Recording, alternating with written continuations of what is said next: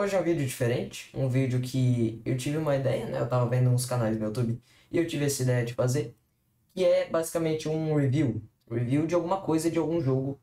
E eu tô fazendo o review das frutas, vou começar a fazer, do Grand Peace e do Blox Fruits, vocês pediram. Enfim, o vídeo tá da hora, mas eu queria só te pedir para se inscrever, mano. Eu sei que é bem chato ficar pedindo, só que é bem, bem desmotivante quando você tá lá fazendo seus vídeos, se esforçando. E o desempenho do vídeo vai mal, ninguém se inscreve no seu canal, então eu só tô te pedindo isso. Mais nada, fica com o vídeo. Então bora pro moveset. A Light tem 6 é, ataques, né? E na verdade 5 ataques. Um deles é o voo. E eu vou mostrar cada um aqui pra vocês. Se você já sabe todos os movesets, você pode ficar pra ver. Eu vou falar algumas coisas de bom de cada, cada move. E depois a gente vai partir pra, pra outra parte do vídeo. Mas basicamente, Primeiro ataque. Essa espada aqui, é, você segura, dá pra segurar no ar. E você meio que dá um dash. Tem um range bom até. E é um block breaker, tá? Então ele é o melhor ataque dela pra PVP, eu diria. Porque você usa no cara, você vai empurrar ele junto com você, você pode pegar a sua espada e combar ele. Suave. O segundo ataque da Light é o Light Kick. O principal ponto dele é o quão rápido ele é e o range que ele tem. Ele tem um alcance absurdo, tem um dano em área bom, tem um dano em si bom, né? tem uma, uma área de explosão boa, tem um dano bom, carrega rápido. É muito bom esse ataque, ele é muito bom para dungeon. E você, você segura o ataque em cima. Por exemplo, fica aqui em cima, segura o ataque e atira lá embaixo. É muito útil. Agora a gente tem o Light Ray, né? O Light Ray é o Z é o preferido de muita gente, não sei se é o meu preferido, eu nem sei dizer qual que é o meu preferido, porque todos são. Basicamente, é um raio onde você segura e fica dando dano e não dá knockback. Ele pode ser bom em 2v2 para PVP, para 1v1 eu acho bem difícil você estar tá usando ele, só que não é o que a maioria das pessoas usa. A maioria das pessoas usa isso para matar boss, né? Por exemplo, deixa o boss bugado ali, fica só aqui no Light Ray, drena pouca estamina né? Se você tiver uma estamina regen alto, um dos melhores ataques assim para usar em grind no geral, para tudo. Tem um dano absurdo, dura bastante e tem um cooldown bem decente. Próximo eu vou, não preciso falar muito. Muito bom. E ele meio que dá um repique quando você bate nos lugares. Próximo eu acho que é o meu ataque que eu menos gosto. Não que ele seja ruim, mas é o que eu menos gosto. Que é o Mirror Kick. Basicamente você mira para um lugar ele vai meio que criar essa, essas coisinhas de luz e vai dar um, um murro, não é um murro, né? uma explosão. Basicamente, ele vai dar um light kick pra baixo, tá? É quase isso. Ó, vou usar aqui pra ver. Ele meio que causa uma explosão lá embaixo, como se você atirasse um raio de luz lá pra baixo. Ele é bom, só que ele não tem um dano tão bom. Chega num ponto na dungeon que você não vai conseguir matar os NPCs em one shot. Que é no caso só usando o ataque. Mas ele é bem bom pra fugir e pra se locomover também. Além disso, é um block breaker, tem um knockback bem absurdo também. E agora, provavelmente o meu favorito. Não sei, como eu disse, eu não sei dizer qual que é o meu favorito. Mas a ult, né? Que é o barrige. Ter um barrige na sua fruta faz uma diferença. E você não tem noção principalmente para grind, tá? Você chega no Seabeast e você faz isso aqui. No Seabeast, evapora a vida dele. Eu, no momento, eu tenho 500 pontos em fruta, que eu botei todos os meus status para grind, porque o update está vindo, inclusive. E isso aqui, no Seabeast, junto com a queimação, dá mais de 2 mil de dano. Tá, pra vocês terem uma noção do quão ridículo é é muito bom e o cooldown também não é tão alto assim. O único ponto ruim desse ataque e de alguns outros é que eles drenam muita estamina. Pontos bons que ela tem, vamos lá.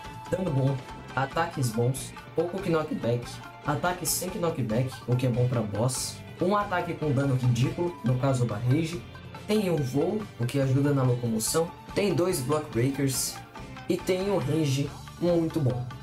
Quando se fala de grind, a Light é a fruta mais versátil que existe.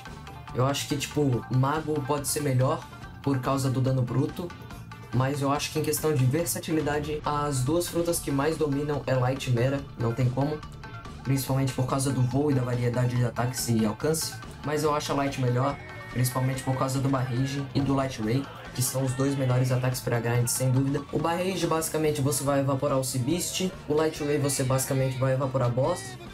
Pra NPC, você fica com Light Ray, Light Kick, pode usar o Barrage também, todos os ataques vão ser muito úteis. Tem ataques que dá para segurar no ar, Dungeon.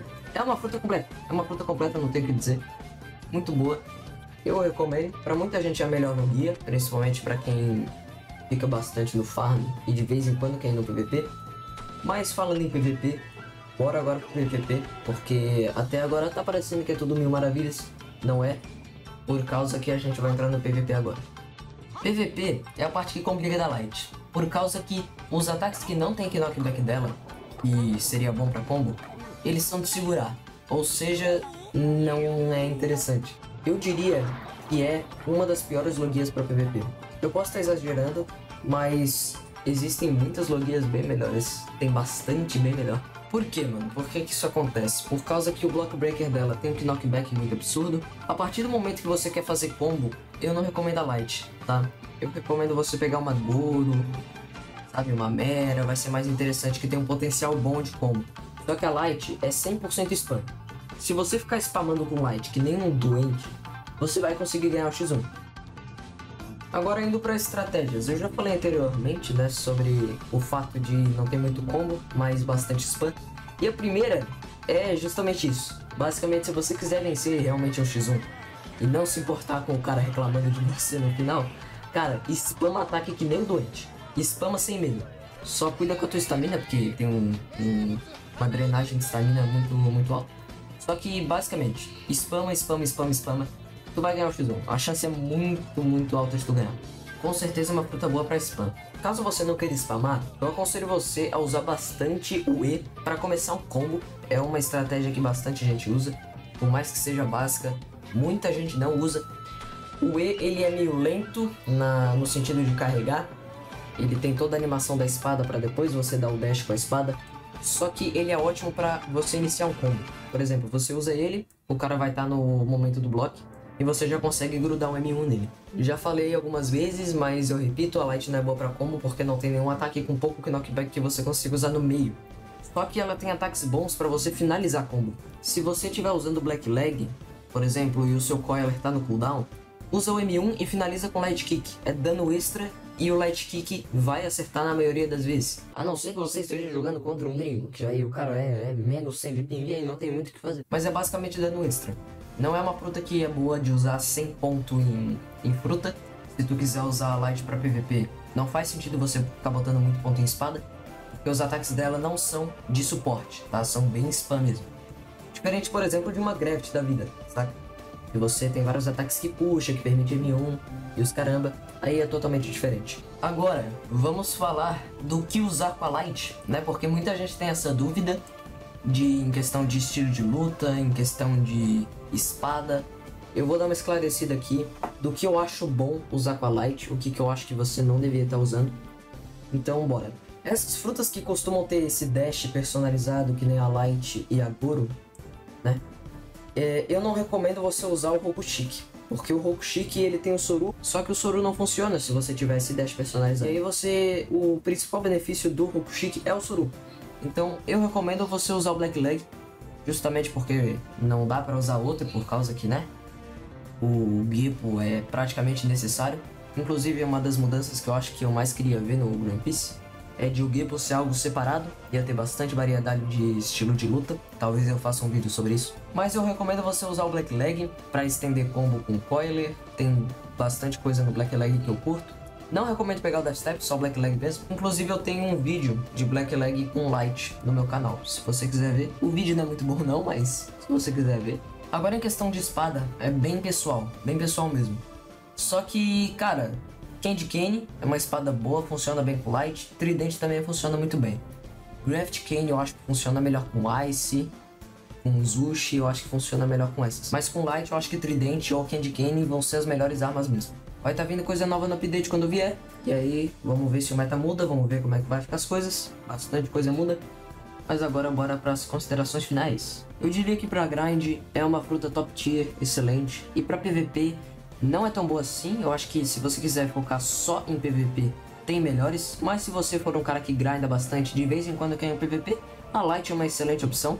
O principal problema dela eu acho que é, é o Stamina Drain, treina muita estamina, então é bom ter bastante regen de estamina, e estamina bruta mesmo. E além disso, é a logia mais cara. É um negócio absurdo, assim, a, o preço da Light no trade market. Porque tem cara que troca Light por Tori, o que não faz o menor sentido, talvez eu faça um vídeo sobre isso também. Mas não faz sentido, é muito cara. É mais fácil até você pegar farmando dungeon mesmo e pegar na sorte, porque o preço dela é um negócio que é ridículo. Gostou do vídeo? Te ajudei? Foi informativo? Sei lá. Se inscreve no canal, eu vou estar fazendo bastante reviews. Eu gostei muito desse estilo de vídeo. Eu tava vendo o canal do Eclipse, que é um cara que faz vídeo de Aiba e outros jogos relacionados a Jude, etc.